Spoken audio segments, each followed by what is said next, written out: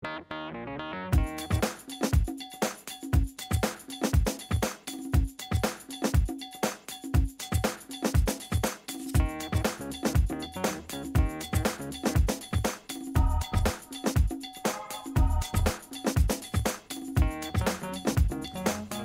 everybody, your friendly DSC guy here today. Today I'm going to troubleshoot of a common call that we get here of a, a false reading on your unit. Like if you're running beef, this unit's reading moisture. So I'm going to show you how to change that from moisture to beef, beef fat percent. Simply we're just to make sure everything's empty so, so we can fix this problem pair it. We're gonna run aluminum dish, or we could just pretend that we're running meat. Just pretend there's fiberglass pads and a beef sample that you're testing. And we'll close the tray.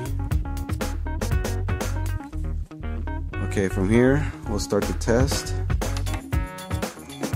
You see, it's reading moisture, and we don't want that simply you just go here to the left side where this percentage is at with the G just keep pressing it until you get a little triangle or an arrow pointing up to be fat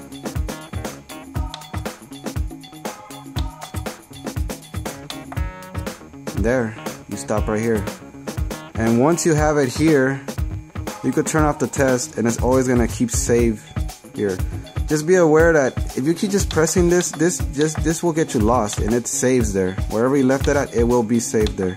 So be aware to stop playing with the anybody would be playing with the unit or messing with the buttons. Just leave it where you're you're where you mostly need it for for beef fat or pork fat, whatever you are guys running. And once you open it or, or stop the test, and if you run another quick test